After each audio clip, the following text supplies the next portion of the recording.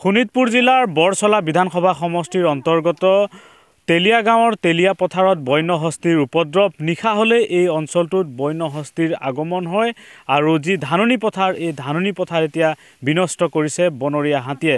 বিগত কেইবাদিন ধৰি তেলীয়া গাঁৱৰ তেলীয়া পথাৰত বন্য হস্তীৰ উপদ্ৰৱত এতিয়া কৃষক ৰাইজে বিনিদ্ৰ ৰজনী পাৰ কৰিব লগা হৈছে। কিয়নো সেউজীয়া হোৱা যি ধান খেতি এতিয়া এফালৰ পৰা বিনষ্ট কৰিছে বনৰীয়া হাতী। আৰু মই পোনে পোনে সেই দৃশ্যাংশ দেখুৱাম। এয়া হৈছে বৰচলা সমষ্টিৰ যি তেলীয়া গাঁৱৰ তেলীয়া পথাৰৰ দৃশ্য। এনেধৰণে বনৰীয়া হাতীয়ে এই অঞ্চলটোত নিশা হ'লেই এনেধৰণে যি ধাননি পথাৰ এই ধাননি পথাৰত ধান খেতি এনেধৰণে বিঘাই বিঘাই ধান খেতি নষ্ট কৰিছে। আৰু বনৰীয়া হাতীৰ যি উপদ্ৰৱ এই উপদ্ৰৱত এই অঞ্চলবাসী এতিয়া বিনিদ্ৰ ৰজনী কটাব লগা হৈছে। নিশা হ'লেই তেওঁলোকে উজাগৰি নিশা পাৰ কৰিব লগা হৈছে। এনেধৰণে এফালৰ পৰা বন্য হস্তীয়ে উপদ্ৰৱ কৰিছে ধান খেতি। বিগত কেইবাদিন ধৰি এই অঞ্চলটোত বনৰীয়া হাতীয়ে এনেধৰণে ওলাই আহি উপদ্ৰৱ চলাই এনেধৰণে ধান খেতি বিনষ্ট কৰিছে। গেৰ ধৰা যি ধান এই ধান এতিয়া এফালৰ পৰা বিনষ্ট কৰিছে বনৰীয়া হাতীয়ে আৰু মই সেই দৃশ্যাংশ দেখুৱাইছোঁ।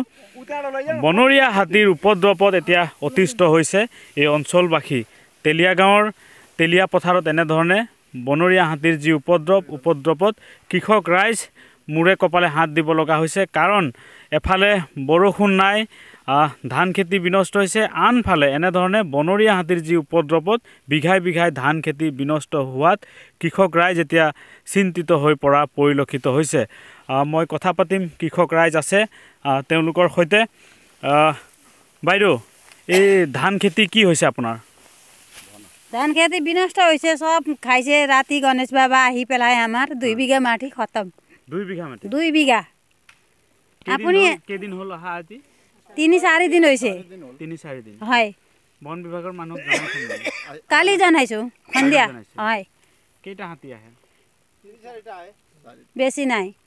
তিনি তিনি চাৰিটা আছে বেছি নাই। তিনি চাৰিটা। হয়। ইমান ধুনীয়া ধান খেতি নষ্ট কৰি দিছে। হয় দুই বিঘা মাটি আপুনি গৈ পেলাই চাব পাৰে। নিশ্চয়কৈ লহপহকৈ হোৱা যি ধান খেতি এফালৰ পৰা বনৰীয়া হাতীয়ে এনেধৰণে বিনষ্ট কৰিছে আৰু ইয়াকে লৈ কৃষক ৰাইজ এতিয়া মূৰে কপালে হাত দিব লগা হৈছে। মই কথা পাতিম আৰু কৃষক ৰাইজ আছে। কি ক'ব? হয় আজি এসপ্তাহ ধৰি আমাৰ তেলীয়া গাঁৱৰ এই তেলীয়া পথাৰ অঞ্চলত মানে ধান খেতি বিনষ্ট কৰিছে হাতীয়ে। দিনেই নিশাই তেওঁ হাতী আহিছে। হাতী আহি দিনত মই সিপাৰলৈ আৰু নিশা হ'লে লগে লগে পথাৰলৈ আহি বিনষ্ট কৰিছে। আজি অসম চৰকাৰৰ ব্যাগুম বন বিভাগ থকা স্বত্তেও বাৰ বাৰ আমি তেখেতসকলক জনোৱাৰ পিছতো আজি কোনো ধৰণৰ পদক্ষেপ গ্ৰহণ কৰা আমি পৰিলক্ষিত হোৱা নাই গতিকে আমি ক'ব বিচাৰিছোঁ যে বন বিভাগে অতি সোনকালে আহি আমাৰ এই ৰাইজৰ দুৰৱস্থাটো যাতে আমাক কষ্ট নিদিয়ে যাতে আমাক মানে এই দুৰৱস্থাৰ পৰা বচাই লয় সেইকাৰণে আমি টানি অনুৰোধ কৰিছোঁ চৰকাৰ পক্ষলৈ। হয়। নিশ্চয়কৈ আৰু কৃষক আছে তেওঁলোকৰো কথা পাতিম।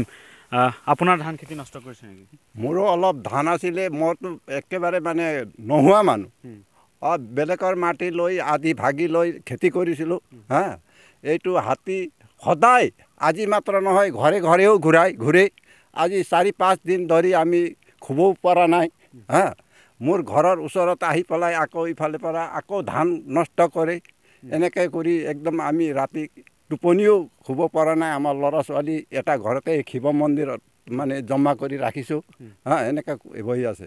আমাৰ ধানটো কমচে কম আঢ়ৈ তিনি বিঘা মাটিৰ ধানটো একদম বিনষ্ট কৰিছে। কমচে কম এইটো পথাৰত আমাৰ ধানটো কমচে কম বিছ মোনকৈ বিঘাত মানে হ'ব বুলি আমি ভাবিছিলোঁ।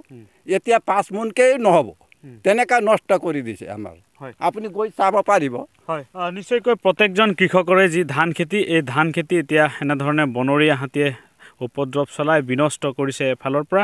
আৰু এইসকল কৃষক ৰাইজ দুৰ্ভগীয়া কৃষক তেওঁলোকে এতিয়া চিন্তিত হৈ পৰিছে আৰু যি ব্যাগুম যি বন বিভাগ এই বন বিভাগৰ বিৰুদ্ধে তেওঁলোকে সুৰ প্ৰকাশ কৰিছে। অৱশ্যে বন বিভাগক এই বিষয়টো অৱগত কৰাৰ পিছতো বন বিভাগে যেনেধৰণে পদক্ষেপ গ্ৰহণ কৰিব লাগিছিলে সেই সন্দৰ্ভত বন বিভাগে পদক্ষেপ গ্ৰহণ নকৰাৰ এক গুৰুতৰ অভিযোগ উত্থাপন কৰিছে। বৰচলাৰ তেলীয়া গাঁৱৰ এইসকল কৃষকে। আপুনি বিচৰা বাতৰি পাব কেৱল নিউজ এইটিন এপত। নিউজ এইটিন এপ ডাউনলোড কৰিবলৈ স্কেন কৰক এই Q R code Google Play ষ্টৰতো পাব এই নিউজ এইটিন এপ